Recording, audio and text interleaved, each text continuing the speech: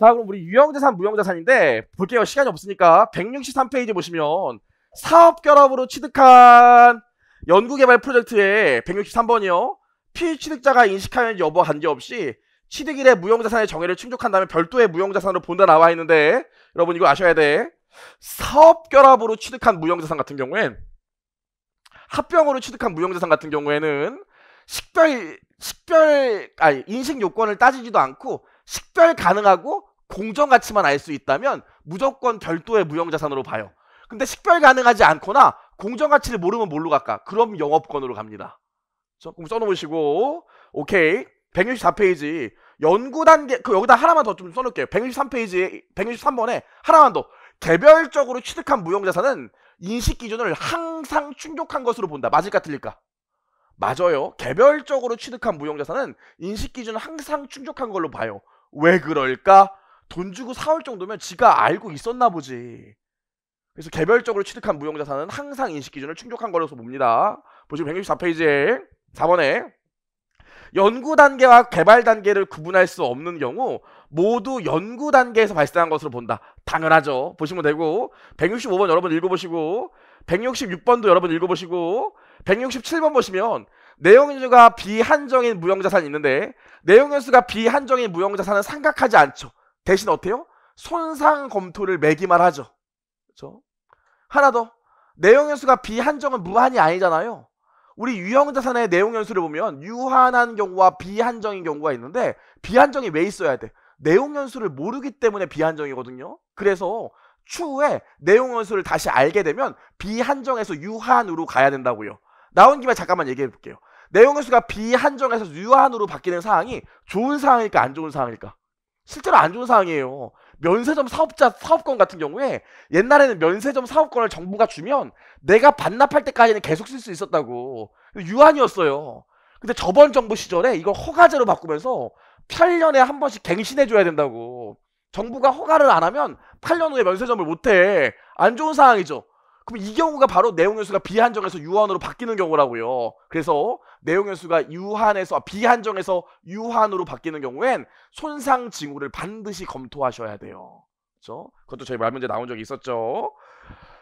자 여기까지 봤습니다. 그럼 보시고 우리 167번 내용연수가 비한정인 무형자산은 생각하지 않는다. 다만 매년 손상 차손을 수행하고 만약에 내용연수가 비한정에서 유한으로 보면 손상의 징후에 해당하는 것으로 본다. 이것도 좀 기억을 하시고요. 무형자산 상각 방법은 정액법 이외의 방법도 사용할 수 있지만 미래 경제적 효익의 소비 형태를 합리적으로 추정할 수 없다면 그 경우엔 정액법만 사용해야겠죠. 체크하시고 정부 보조로 무형자산을 취득했대요. 이거 뭐가 결론이라고 했습니까? SK가 정부로부터 주파수 사용권을 받았대. 주파수 사용권의 공정가치가 10조인데 SK가 7조만 줬대. 결론이 뭐였습니까? 10조로 주파수 사용권을 잡을 수도 있고 내가 7조만 줬으면 7조로 잡을 수도 있다고 그랬죠? 두 개 다 가능해요. 그래서 읽어보면 정부 보조로 무형자산을 무상이나 낮은 대가로 취득한 경우 당해 무형자산의 최초 원가는 무형자산 명목상 금액과 직접 관련된 지출을 합한 금액을나 공이나 공정 가치로 할 수 있다. 그래서 실제로 내가 돈 낸 금액 또는 공정 가치로 할 수 있다는 거 아시면 되고 170페이지에 수익에 기초한 감가상각 방법이 무형자산은 가능합니다. 유형자산은 안 되지만 좋아요. 여기까지 얘기했고 나머지는 여러분 좀 보시면 되고요. 172, 173, 174, 175까지 요게 기타의 자산들 탐사평가 자산, 박토활동 자산, 그 다음에 웹사이트 자산인데 174번이랑 175번만 아시면 돼요. 탐사평가 자산은 사실 나온 적이 없어요. 저희 시험에. 그래서 174번이랑 175번만 좀 기억하시면 되고요. 그거까지만 기억하시면 되고 좋아요. 넘겨보시죠. 176번도 여러분 보시고 우리 아, 좋아요. 178번 보시면 내부적으로 창출한 무형자산의 원가는 인식 기준을 최초로 충족시킨 이후 발생한 지출 금액의 합으로 하며 이미 비용으로 인식한 지출도 무형자산의 원가로 인식할 수 없다 나와 있는데 우리 내부적으로 창출한 무형자산 같은 경우는 이렇죠. 연구 단계가 있고요. 개발 단계가 있는데 연구 단계에서 발생한 비용은 다 뭘로 처리합니까? 연구비로 비용 처리하죠. 개발 단계에서 지출한 금액은 어떻게 처리합니까? 자산의 인식 요건을 충족하기 전에는 경상개발비로 비용 처리하고요. 자산의 인식 요건을 충족한 이후에는 개발비로 자산 처리하잖아요. 그럼 자산의 인식 요건을 충족했다고 해서 그동안 비용 처리했던 걸 개발비로 다시 잡아줄 수 있을까 없을까? 안 된다고 그랬죠. 이유가 뭐예요? 여기 들어간 원가들이 비용들이 실제로 요거에 대응되는지 합리적으로 배분할 수 없기 때문이에요. 같은 예로 개발비를 취득하고 나면 우리가 모두 취득해. 산업 재산권도 취득하죠. 그럼 산업 재산권 같은 경우에 취득 원가를 기존에 남아있던 개발비 잔액을 산업 재산권으로 바꿔줍니까? 산업 재산권을 취득하기 위해 직접적으로 들어간 원가만 산업 재산권에 얹어줍니까? 직접적으로 관련된 원가만 산업 재산권에 얹어주죠. 그 이유도 여기 쓰였던 지출들이 여기에 정말로 대응되는지 합리적으로 수정할 수 없기 때문이에요. 따라오시죠. 그래서 읽어보시면 178페이지가 그 얘기고요. 179번은 여러분 읽어보시고 180페이지에 내부 프로젝트 연구 단계에서 미래 경제적 효익을 창출한 무형자산이 존재한다는 것을 제시할 수 있는 경우에도 비용으로 인식하며 내부 프로젝트의 연구 단계에서 발생한 지출은 모두 발생 시점에 비용 처리한다. 맞고요. 181번은 여러분 읽어보시고 182번은 요거만 기억할게요. 손 처분 자산 집단에서 여, 손상 차손을 인식하면 무조건 영업권을 먼저 감소시킵니다. 나온 김에 거기 영업권에 좀 써놓을게요. 영업권은 상각을 안 해. 그래서 매년 손상 검토를 합니다. 추가로 영업권은 절대로 환입을 인식하지 않아요. 왜? 내부적으로 창출한 영업권이랑 동일하게 보기 때문에 영업권의 환입은 인정하지 않습니다. 손상은 인정해도 무형자산은 손상 인정하고 환입 대화 안 돼요. 일반적인 무형자산은 손상도 되고 환입도 되지만 영업권만 환입이 안 된다고요. 오케이 여기까지 얘기했고요. 여기는 없지만 나온 김에 하나만 조금 더 얘기해 볼까요? 거기는 없지만 여러분 이 브랜드 있잖아요 브랜드 브랜드. 내부적으로 창출한 브랜드는 자산으로 보지 않죠. 왜? 자산의 원가를 신뢰성 있게 측정할 수 없기 때문에 인식 요건을 충족하지 못해서 자산으로 못 본다고요. 그럼 이 브랜드 같은 경우에 외부에서 구입하는 브랜드가 있고요. 내부에서 창출한 브랜드가 있는데 최초 인식 시점에 내부에서 창출한 브랜드는 절대로 자산으로 처리하지 않죠. 외부에서 구입한 브랜드는 어떻게 구입했기 때문에 자산으로 본다고요. 근데 이러고 나서 후속적 지출이 있었어. 브랜드 디자인을 좀 바꿨대. 후속 지출했대. 요 경우에 얘나 얘나 다 뭘로 처리합니까? 얘나 얘나 다 내부적으로 창출한 브랜드로 보기 때문에 그 경우엔 비용 처리한다고요. 여기까지 괜찮죠? 오케이. 볼게요. 여기까지 하고 나서 매강예정 비유동자산인데 여러분 매강예정 비유동자산 183번은 여러분이 읽어보시고 184번 얘기를 잠깐만 해보면 실제로 여러분 매각 예정 비유동 자산으로 분류한다는 건 해당되는 자산이 비유동자산이었는데 이제 1년 이내에 매각될 가능성이 매우 높기 때문에 매각 예정 비유동자산으로 분류한다고요. 요 경우에 어떻게 관련된 자산만 매각 예정 비유동 자산을 불려오는 게 아니라 요 자산과 관련된 부채도 별도로 비교하고 분류하고 기타 부가의 손익이 있다면 그것도 별도로 분류하죠. 추가로 알아야 되는 게 뭐니까 매각 예정 비유동 자산으로 분류하면 상각 해요 안 해요? 상각 안 해요. 왜? 얘는 매 기말 손상 차손을 검토만 한, 검토하기 때문에 매각 예정 비유동 자산 상각을 안 해. 대신 손상 검토를 매기만 한다고요. 그럼 나 잠깐만 물어볼게요. 매각 예정 비용조사는 손상 차손 인식할 때 회수 가능액으로 인식합니까? 순 공정 가치로 인식합니까? 내가 문제 냈었잖아요 저번 시간에. 순 공정 가치로만 인식하지. 이유가 뭐예요? 사용 가치가 없기 때문이에요. 이제 처분할 건데 뭘 사용을 해? 그렇죠?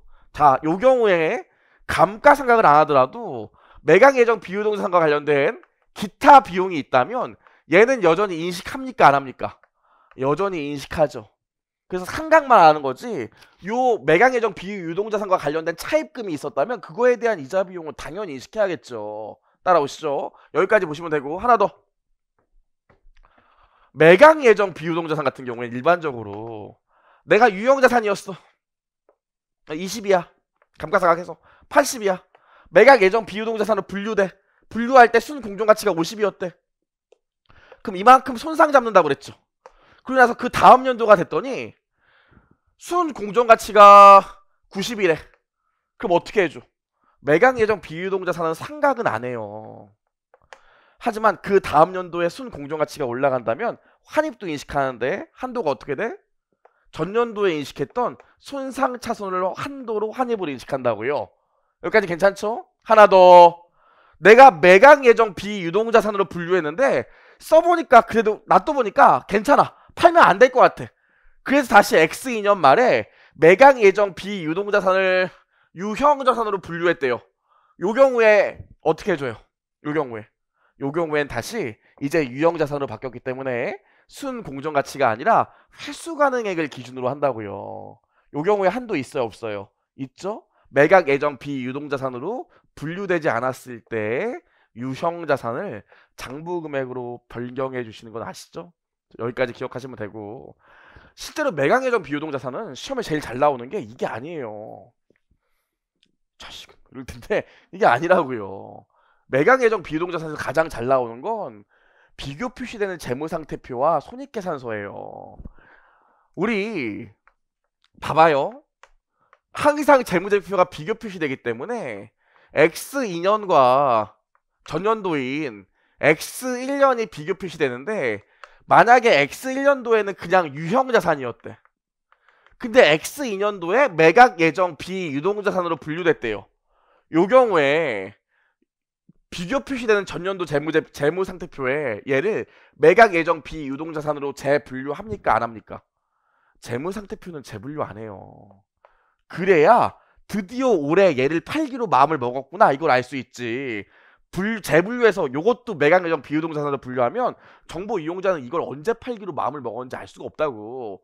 재무 상태표상으로. 그래서 매각 예정 비유동자산으로 분류하는 경우나 매각 예정 비유동자산에서 다시 비유동자산으로 바뀌는 경우에는 재무상태표는 전기 재무제표를 제작성하지 않는다고요. 하지만 손익계산서를 보면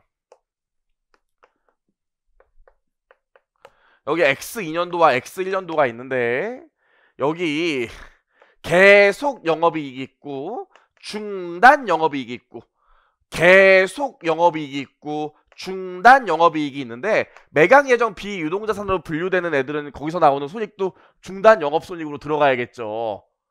그죠? 그럼 전년도에는 계속 영업이익에 있었는데 올해는 매각 예정 비유동자산으로 분류했으니까 중단 영업이익에 들어갔을 거라고요. 요 경우에 비교 표시를 비교 표시를 공시되는 전년도 재무제표 중에서 포괄손익계산서는 제작성을 할까 안 할까? 이건 비교 가능성을 위해서 제작성을 한다고요. 그래야지 비교가 정확히 될 거 아니야. 그래서 매각 예정 비유동자산을 분류하는 경우에 전년도 재무제표를 재무상태표는 수정하지 않지만 포괄손익계산서는 수정한다. 여기까지는 꼭 기억해 주셔야 돼요. 그래서 읽어보시면 쭉 읽어볼 건데 매각 184번 매각 예정으로 분류된 비유동자산과 관련하여 기타 포괄 손익으로 인식한 손익 누계액은 별도로 표시한다. 맞고 BS도 별도로 표시한다고 그랬잖아요. 맞고 어 186페이지 보시면 매각 예정 분류된 처분자산 집단과 포함되는 자산이나 부채는 다른 자산이나 부채와 별도로 재무상태 표에 표시한다. 요 경우에 자산과 부채는 상계하여 단일 금액으로 표시할 수 없다. 아까 얘기했죠. 관련된 자산을 매각 예정 비유동자산으로 붙이고 부채도 별도로 표기한다고요.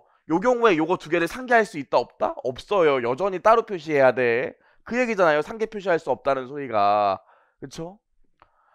세 번째 187페이지 187번 감가상각을 하지는 않지만 이자와 기타 비용은 계속하여 인식한다. 따라오시면 되고 188페이지 8번 매각 예정 비유동자산은 순 공정가치와 장부금액 중 작은 금액으로 측정한다. 왜?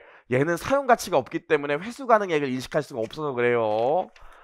넘어가 보시면 189번 두 번째 줄 보시면 당해 자산은 당해 자산을 매각 예정으로 분류하기 전 장부금액에 감가상각, 재표가 등 매각 예정으로 분류하지 않았더라면 인식하였을 조정사항을 반영한 금액 그게 예죠. 이거와 매각하지 않기로 한 날에 회수 가능액 중 작은 금액으로 측정한다. 요게 뭡니까? 매각 예정 비유동자산에서 다시 비유동자산으로 분류하기로 했대. 팔려다가 안 팔기로 했대. 그러면은 어떤 금액 기준으로 한다고? 더 이상 순 공정 가치가 아니라 이제 계속 사용하기로 했으니까 사용 가치를 알 거니까 회수 가능액과 매각 예정으로 분류되지 않았을 때 장부 금액 중 작은 금액으로 다시 분류해 준다고요. 이해하시겠죠? 무슨 말인지. 이때 오답 유형으로 나오는 게 요게 나오는 게 아니라 요게 나와요. 순 공정 가치가 아니라 사용 가치, 아, 회수 가능액이에요. 요 케이스는 매각에서 유형 자산으로 다시 바뀐 거니까. 오케이. 받고 190번 보시면 중단 영업을 표시하였던 당의 구분 단위 성과를 비교 표시하는 모든 회계 기간에 재분류한다. 그래서 뭐 할 수 있어요? 아, 손익계산서는 재분류하는구나. 하지만 밑에 파란색을 보면 최근의 재무상태표의 분류를 반영하기 위하여 재분류하지 않는다. 재무상태표는 재분류하지 않는다고요. 따라오시겠지? 자 여기까지 했고요. 충당부채인데 지우랑 충당부채를 보죠. 여러분 충당부채 관련해서 보시면 충당부채요. 충당부채는 뭐가 제일 중요하다고 그랬어? 인식요건이 제일 중요하다고 그랬죠. 충당부채의 인식요건을 보면 일단 정의가 충족돼야 되고 그 다음에 미래 경제적 효익에 자원의 유출 가능성이 높아야 되고 그 다음에 원가를 신뢰성 있게 측정할 수 있으면 되는데 정의가 문제죠 정의가 정의 정의 충당부채 정의 첫 번째가 뭡니까 과거 사건의 결과로 존재하는 현재 위무이잖아요. 요 위무에는 법적인 의무만 들어가 아니면 위제 의무도 들어가. 위제 의무도 들어가죠? 위제 의무가 뭡니까? 내가 공표하고 상대방이 정당한 기대를 하게 한다면 위제 의무가 성립한다고 했죠. 그죠? 그리고 뭐 있습니까? 여기까지 하고 나서. 아.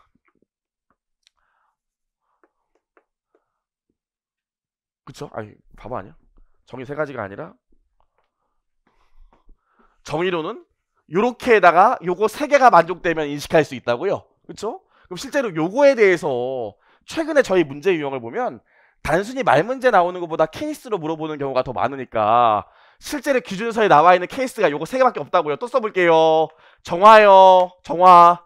정화 보시면 내가 여기 공장이 있었는데 공장에서 하천에 폐수를 막 발견해서 하천이 완전 썩어버렸대.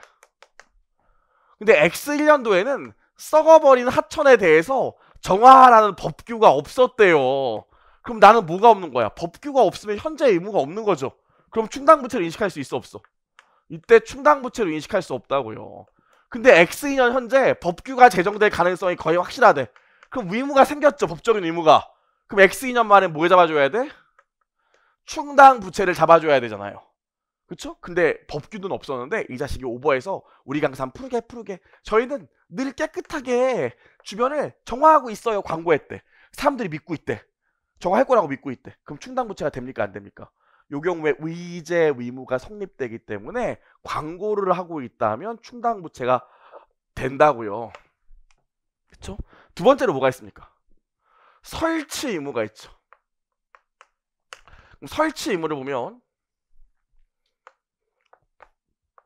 X1년, X2년인데 내가 공장에 불뚝이 있는데 여기서 코로나 가루가 막 나온대. 그래서 코로나를 막기 위해서 여기 필터를 달라고 그랬어요. 지금 코로나 진짜 짱 싫어요. 지금 제주도 취소해 아니 제주도 하와이 취소해 죽을 것 같아요. 지금 이렇다고요. 심지어 예약 취소가 안 돼갖고 400만 원뛴거 알아요? 하, 400만 원이면 어, 어, 자, 아 그래서 오늘 떡을 안 주시는 거, 그러니까 이렇다고요. 여기까지 했는데 실제로 필터를 달라고 필터를 설치하라고 그랬는데 X2년까지 설치하라고 그랬어.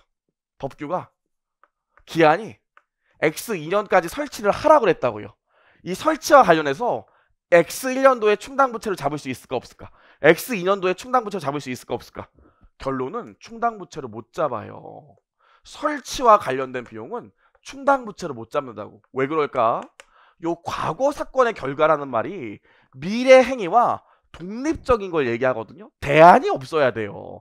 그럼 요 경우에는 왜 대안이 있을까? 예를 들어 보면 필터 설치하는데 1억 든데 근데 나는 2년만 있다가 공장을 중국으로 옮길 생각인데 저거 설치 안 하면 1년에 벌금이 3천만 원씩 나온대요. 그럼 2년이면 6천만 원이잖아.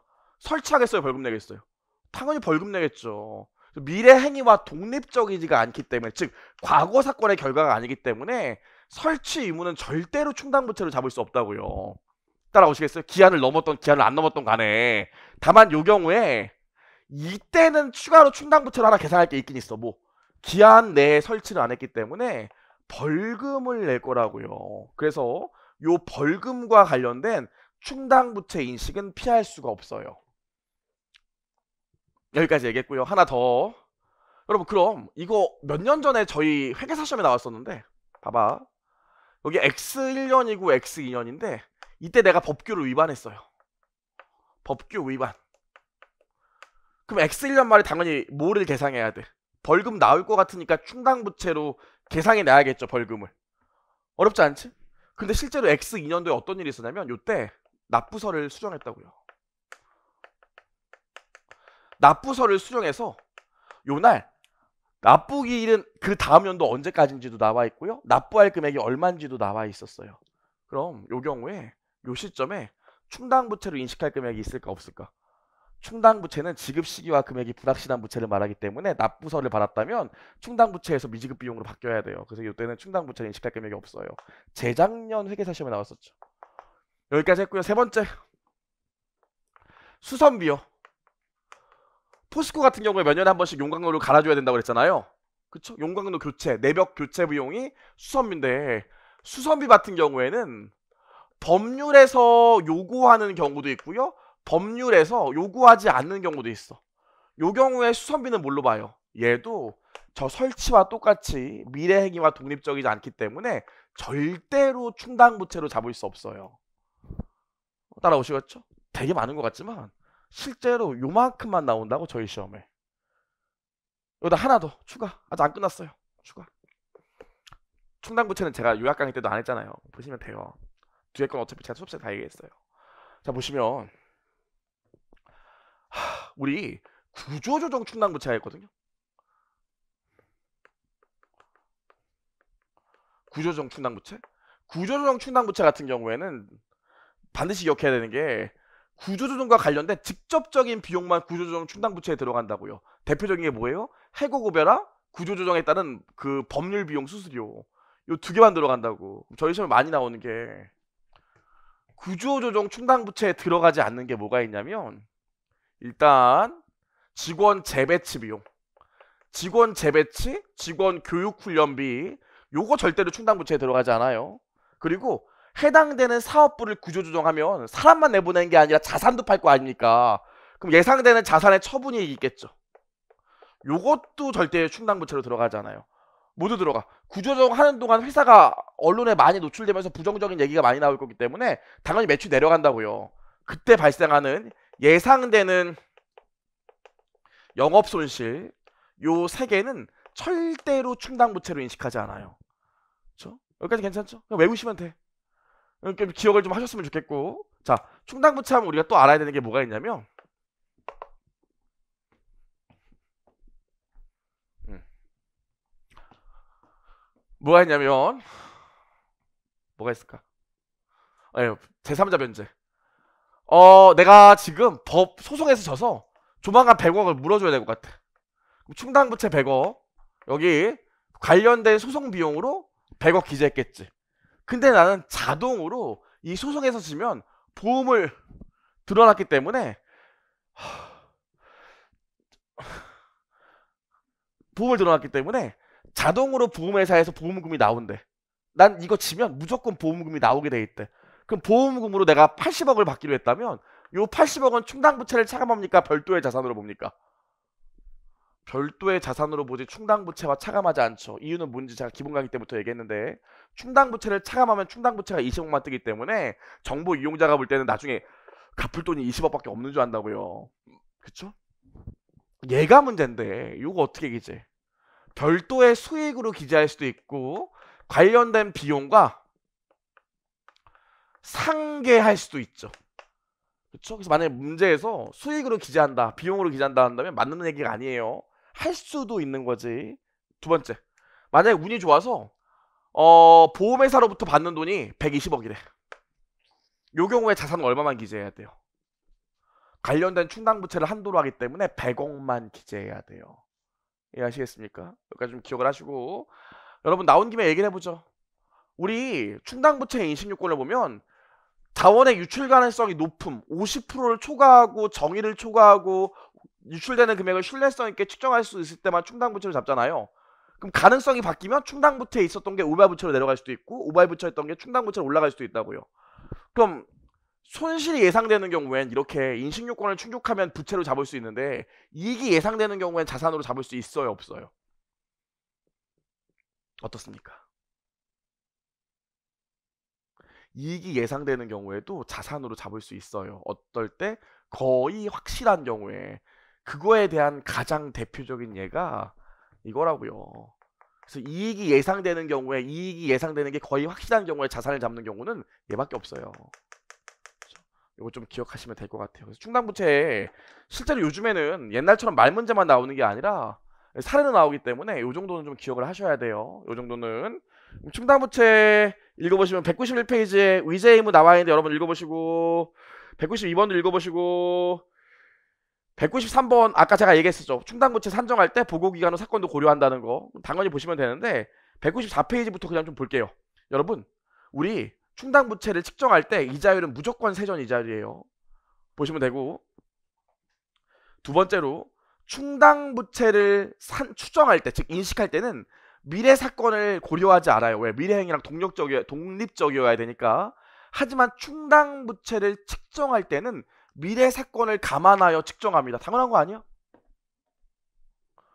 내가 지금 요 시점에 충당 부채를 인식해야 되는데 앞으로 2년 동안 50%의 확률로 100원을 줄 수도 있고 50%의 확률로 아무것도 안 줄 수도 있고 50%의 확률로 150원을 줄 수도 있고 50%의 확률로 아무것도 안 줄 수 있대요.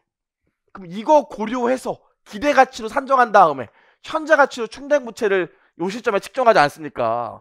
그래서 인식할 때 미래 사건과 독립적이어야 되지만 측정할 때는 당연히 미래 사건을 감안해요. 따라오시죠? 그 얘기고요.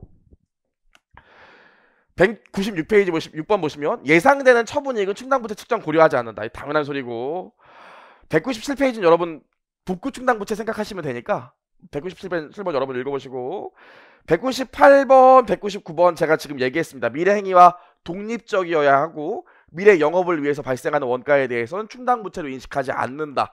보시면 되고요. 넘겨보시면 타임 우발부채랑 우발자산은 자산과 부채의 정의를 충족한다. 맞아요? 틀려요? 우 발자산과 우발부채는 자산과 부채다. 맞아요? 틀려요? 아니에요. 얘는 이름만 자산과 부채지 절대로 자산과 부채의 정의를 충족하지 않는 애들이에요. 그래서 우발부채와 우발자산은 자산이 아닙니다.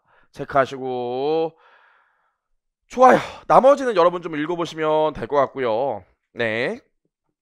202페이지부터 우리 중간 재무 보고가 나오는데 요거 제가 주말 주에서 이번 저번 주였죠? 저번 주에서 아주 진하게 얘기했어요. 읽어보시고 그쵸? 주말 주에서 강평 뭐 길지도 않은데 그쵸?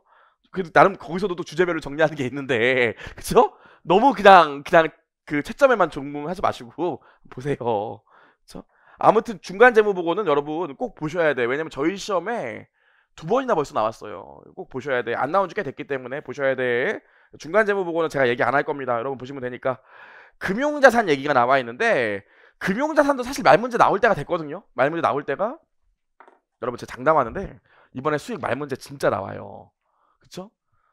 그 유행이 있다고 유행이 은근히 회계를 시험 보는 시험들이 많아요. 물론 간평사 관세사가 미뤄지긴 했지만 공무원도 올해 시험을 봤는데 올해 이미 그 아, 작년이구나. 작년에 시험을 봤는데 이미 나와 좀 늦게 보거든요.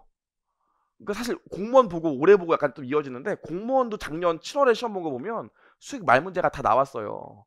수익 말 문제 그 앞부분 정리했던 거 꼭 기억을 하셔야 돼요. 그렇죠?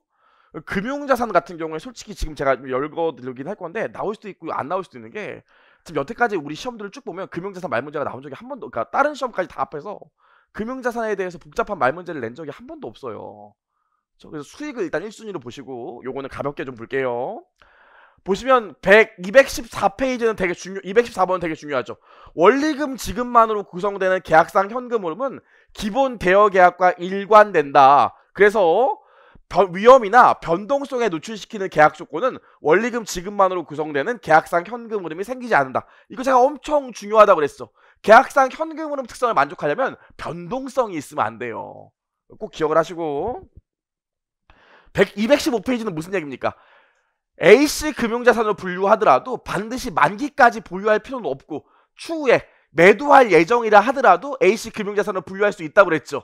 그게 215페이지고 215번이고 216번 보시면 A씨 금융자산과 다르게 FVOCI는 매도가 빈번하고 필수적이라고 했잖아요. 다만 매도의 규모와 금액은 기준서에 나와 있지 않다고 그랬죠. 그냥 필수적인 것만 기억하시면 될 것 같고요. 217페이지, 17페이지, 217번 보시면 우리가 금융자산의 사업 모형을 결정할 때 회사 전체를 기준으로 결정합니까? 아니고요. 금융자산 건 by 건을 결정합니까? 아니죠. 일단 일정한 집합을 기준으로 결정한다고 그랬지. 그래서 거기 보시면 뭐라고 나와 있어요? 금융자산의 집합을 함께 관리하는 방식을 반영하는 수준에서 결정한다고 나와 있잖아요. 오답 유형으로 뭡니까? 사업 전체 혹은 금융자산 건별로 이러면 틀린 얘기예요. 관리하는 집합의 수준을 반영해서 결정합니다. 오케이 여기까지 봤고 218페이지 218번 뭐라고 나와 있습니까? A씨 금융자산이 아니라 FVOCI가 되려면 매도가 빈번하고 필수적으로 일어나야 되는데 빈도나 금액은 기준서에 나와 있지 않다고 했었죠. 요거 기억하시면 되고 219번이랑 220번 진짜 중요해요. 저번에도 얘기했지만 여러분 지분 상품 같은 경우에는 FVOC PL이 원칙이잖아요. 그쵸? 근데 네가 원하면 최초 취득 시점에 FVOCI로 가는 거는 허용했고 추후 재분류는 안 된다고 그랬다고요. 지분 상품 얘기예요.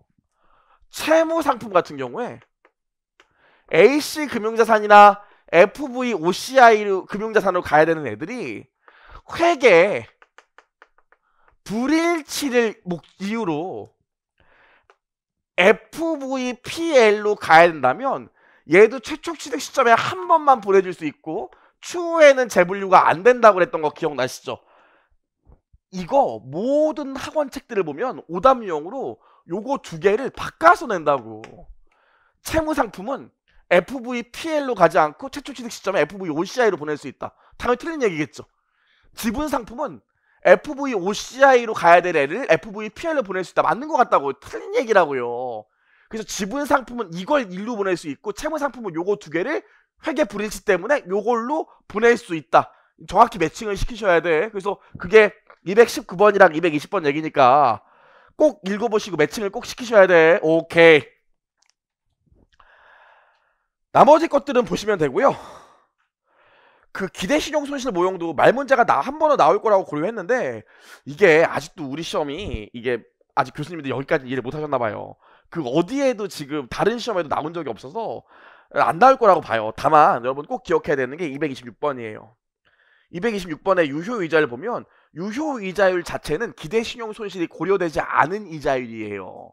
꼭 기억하셔야 돼. 유효 이자율에는 기대 신용 손실이 고려되어 있지 않아요. 그 정도만 좀 기억하시면 될 것 같고 재분류도 제가 저번에 한번 찐하게 했어요. 그렇죠? 재분류. 제 생각에 솔직히 말씀드리면 금융자산에서 제일 중요한 게 분류인데 아직 분류가 안 나왔기 때문에 올해는 분류와 관련해서 말 문제로 한 번은 나올 거라고 봐요. 한 번은.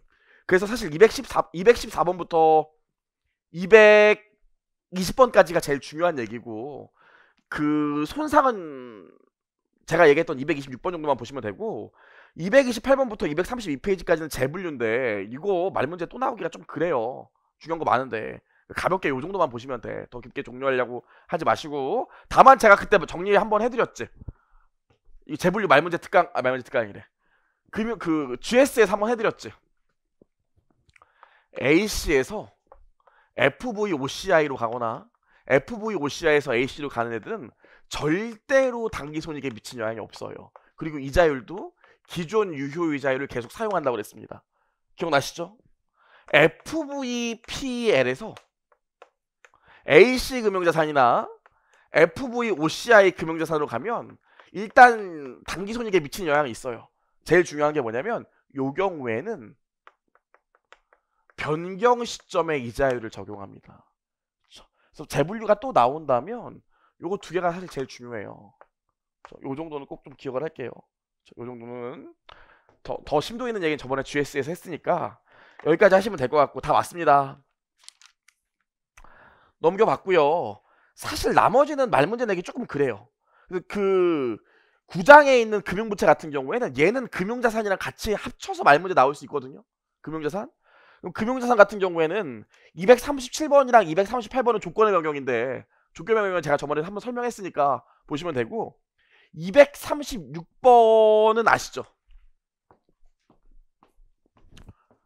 우리 금융부채를 보면 금융부채의 종류가 여러 가지 있는데 그 중에서 하나가 A씨 금융부채고 흔히들 우리가 배우는 사채 하나가 뭡니까? FVPL 금융부채죠. 그럼 FVPL 금융부채 같은 경우에는 얘도 공정가치로 발행하고 나서 유효이자율법이 아니라 액면이자율법을 쓴다고요. 왜? 기말의 공정가치 변동을 당기손익에 반영할 거니까. 근데 얘 유일한 차이가 뭡니까? 금융자산과 다르게 얘는 공정가치 변동 중분에서 신용 위험에 따라서 변동한 부분은 기타 포괄 손익에 보내고 신용 위험 이외의 분을 단기 손익에 보내는 거 아시죠? 에이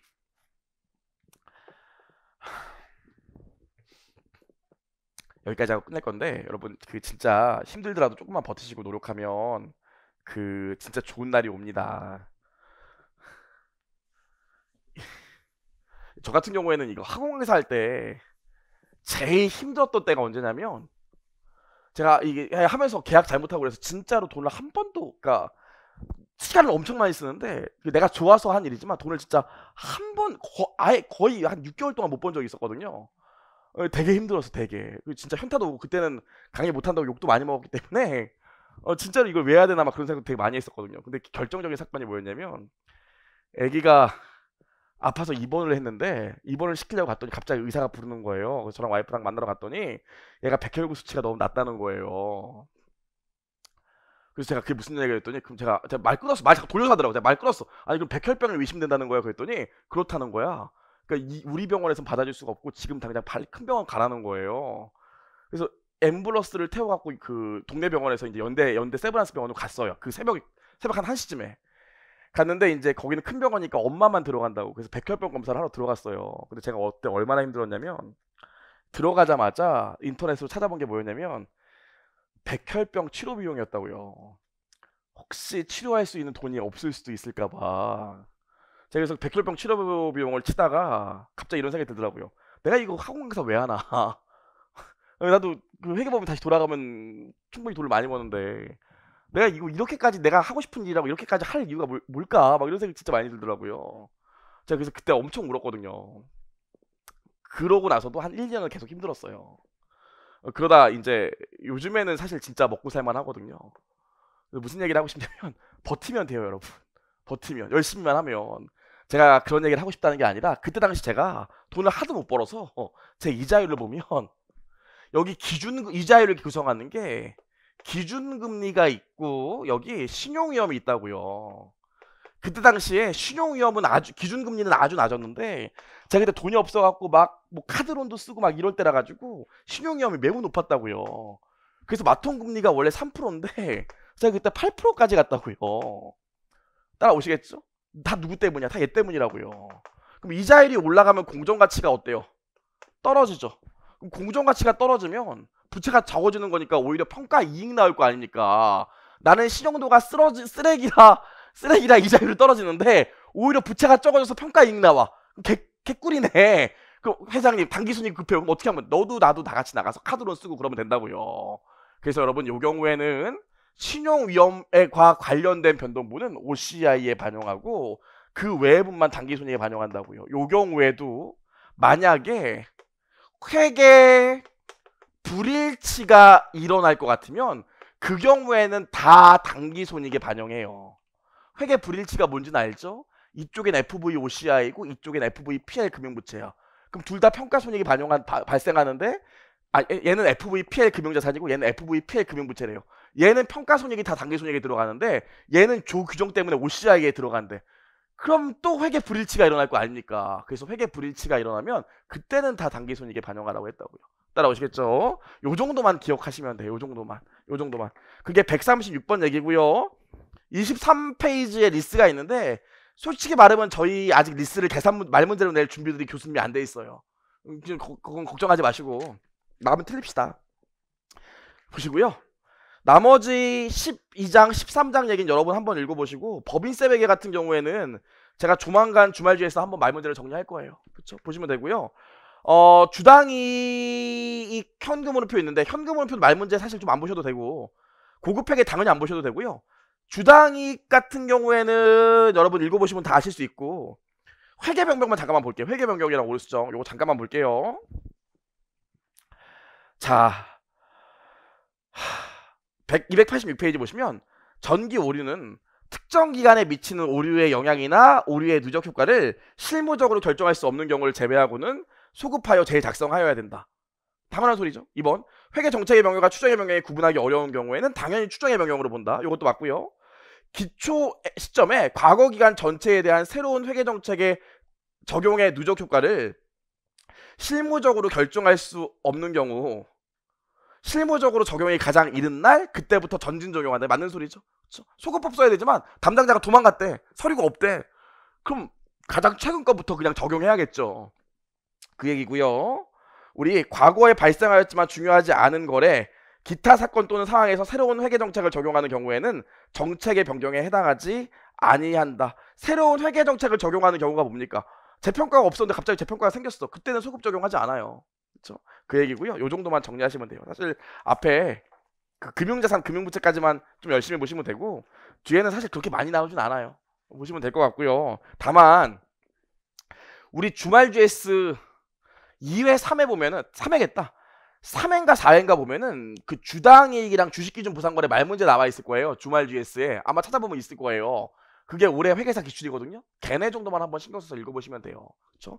여기까지 하시면 될 것 같고요. 그래서 다 끝났고 정말 고생 많이 하셨고요. 남은 기간 잘 정리해서 다 합격하시길 진심으로 기원하겠습니다. 네, 수고하셨습니다.